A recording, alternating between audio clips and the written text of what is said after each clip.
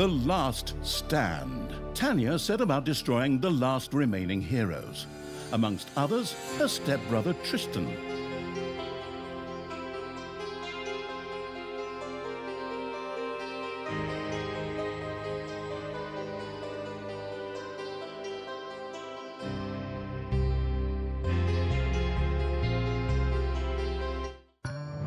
Once upon a time, long, long ago in, hell, well, you know the rest, the absolute evil had, in the fabulous predecessor to this game, taken over the entire overworld with its creatures.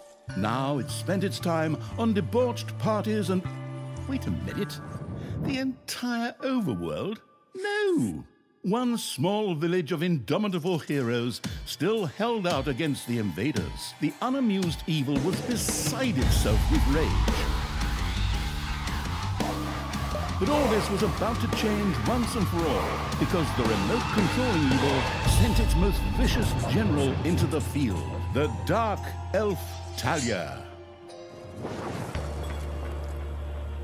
Thalya, also known from the fabulous predecessor, came back from her vacation in a thoroughly good mood. Before that, she had defeated her foster father, the paladin Tanos. This fact is important to note.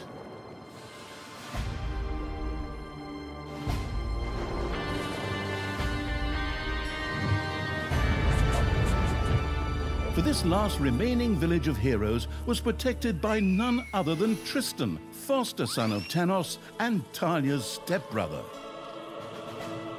This proud warrior in shining, his handsome heroic chest accentuating armor was the last glimmer of hope for the forces of good.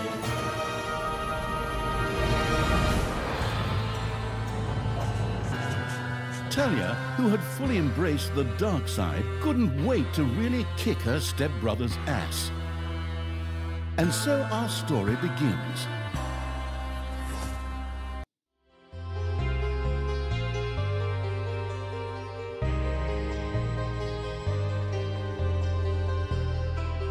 The last defenders of good were fighting for their survival. This seemed to be the perfect time for Tristan to make his appearance, the last mighty hero of the good races. My brothers! In your eyes, I see the same fear that would lead me to despair.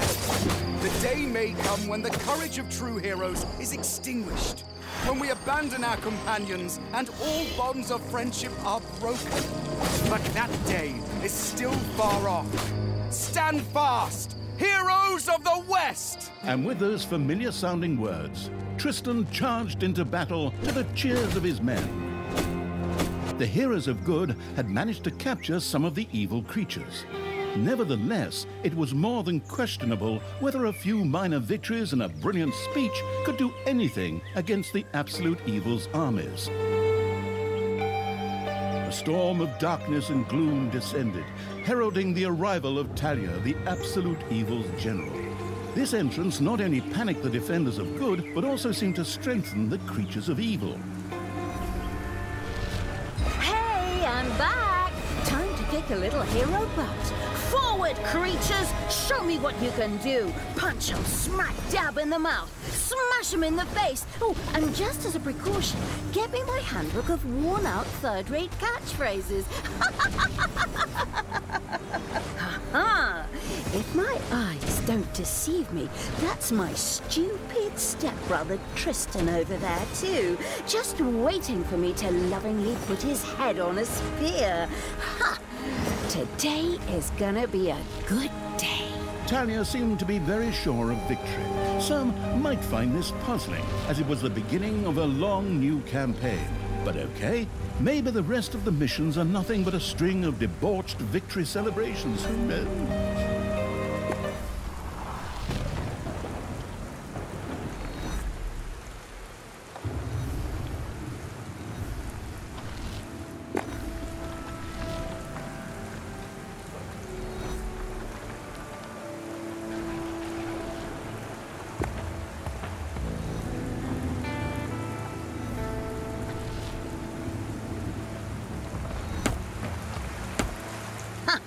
A few pitiful opponents.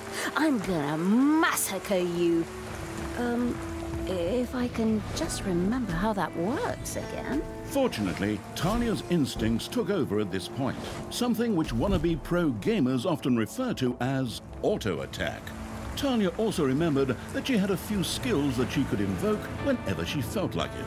Oh, right! Boom! That's how it's done. Thalya's mighty storm once again stood at her disposal.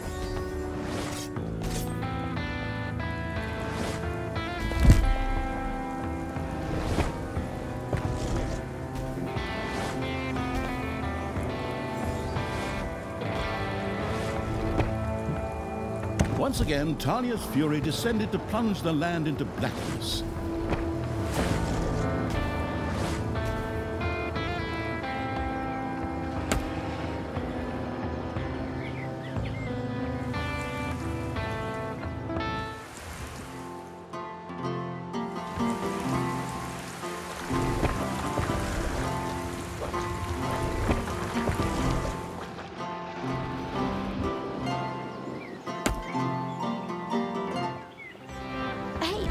Did someone actually cage my subordinates? Ah, forget that. I'm the only one who's allowed to do that. Time to bust these things open. Pulverize them. Nuke them.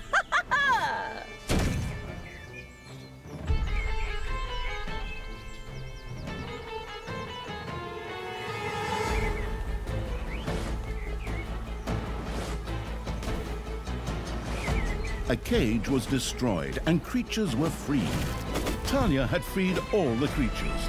Not to be outdone by her stepbrother, she too gave a brilliant speech. Speech? Uh, sure. Creatures! Time to punch the do-gooders right in the kisser! Forward! Punch them in the face, kick them in the shins, break their belt buckles so they trip on their pants! Hmm, yes. Very inspiring.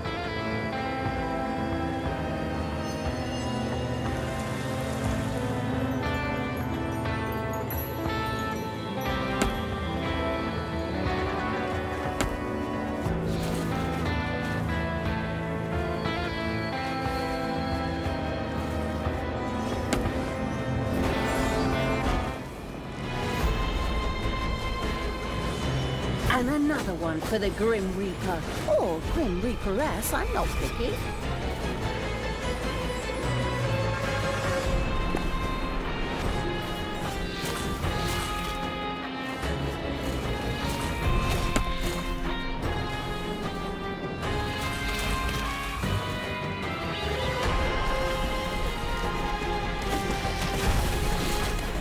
Thalya had reached the center of battle.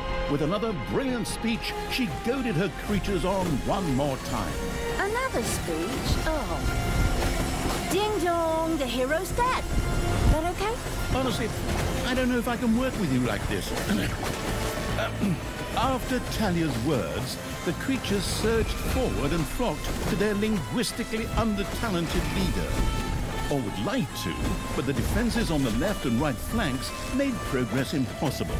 Thalya had to destroy them in order to receive further support.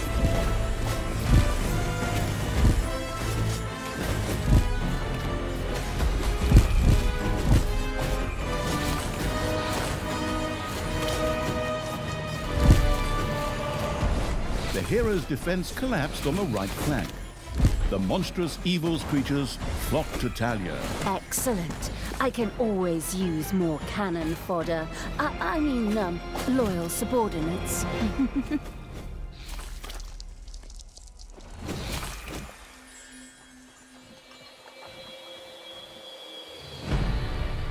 The hero's left defensive flank could no longer withstand the breaching evil's creatures.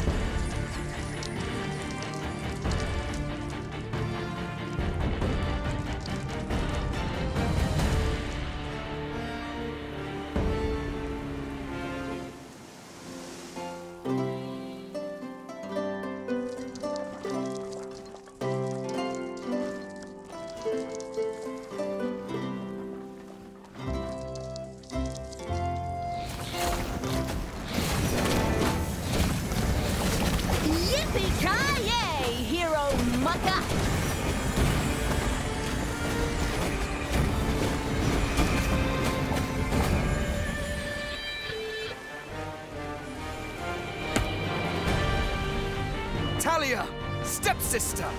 You dare to show your face here after killing our foster father? Uh, yeah. Is that a trick question? You can see I'm here. Tanos deserved what he got. And I thought to myself, hmm, hey, like father, like son. You will pay for your deeds, sister. The light will protect me. Sister, turn from evil and come back to the side of good. See the power of light. With these words, Tristan was bathed in a golden light that seemed to protect him. As if that were not troublesome enough, a number of magical portals opened at the same time. Huh. As if this wasn't dragging on way too long already. Can't we just jump straight to the point where I greedily take over the world? Forward, creatures! Smash the portals! Flatten that magic junk! Pull the plug! My brothers! In your eyes, I see the same fear that would lead me to despair. The day may come when the courage of true heroes is extinguished, when we abandon our companions and all bonds of friendship are broken. But that day is still far off. Stand fast, heroes of the West! Oh, didn't you spout that same bullshit earlier? In exactly the same words. No, not at all. I am known for my brilliant speeches, wicked stepsister. I seem to remember that whenever you were supposed to speak in front of the class, we had to get a mop. You'll pay for that. Onward, faithful! Destroy the evil! Your army has just decreased in size due to death.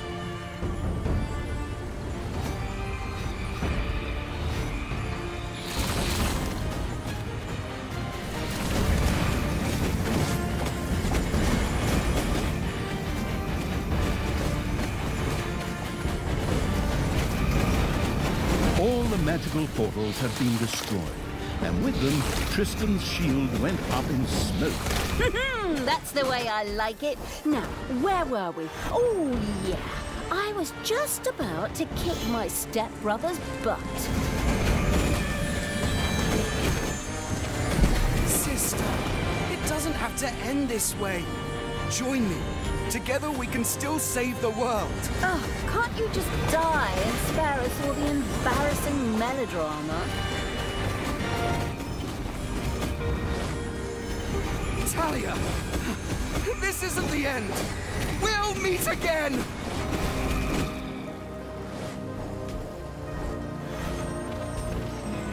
With these words, Tristan quickly created a portal and threw himself through it with the last of his strength. The portal closed again behind him. Treachery, fraud, cheater! This was supposed to be my victory! And what the hell kind of glove is that anyway? Looks to me like game design forgot to balance the thing properly. Maybe the people in charge were still too captivated by your great speech. It brought tears to my eyes too. However, not of emotion. As if the bird brains these evil creatures have needed grand speeches. A few skulls to bash in, and the social calendar for the evening is filled.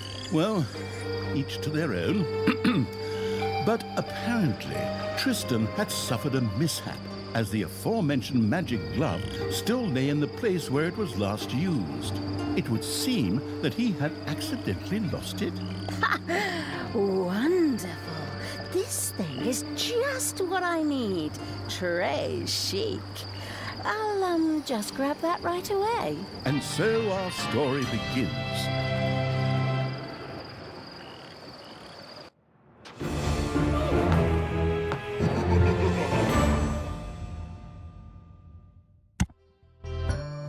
Tristan had managed to give Thalya the slip, but she had been able to capture his magic glove. The Gauntlet of Finitude, a fabled artifact. Unfortunately, UI overlays don't work in cutscenes, so Thalya couldn't read just exactly what the glove did.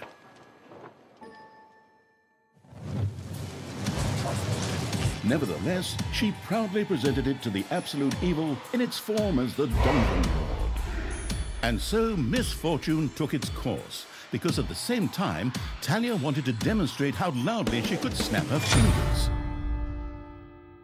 But this snap, which would go down in the history books as the Dungeon Lord snap, unleashed horrific forces that were discharged into the Dungeon Lord himself. As Thalya rose to her feet, the gauntlet had disappeared, and the Dungeon Lord lay dying. Viewers often began to cry at this point, because it made them think back to the last really good superhero movie. Thalya mourned for about five seconds. Thalya had shattered the realms of good and served them onto the absolute evil on a silver platter, while it had actually done nothing at all. So Thalya now became the absolute ruler. She had no clue about how to rule, but more than made up for it with hubris and consistently ignoring glaring problems. In addition, she surrounded herself with a staff of incompetent advisors. What could possibly go wrong? Ten minutes later,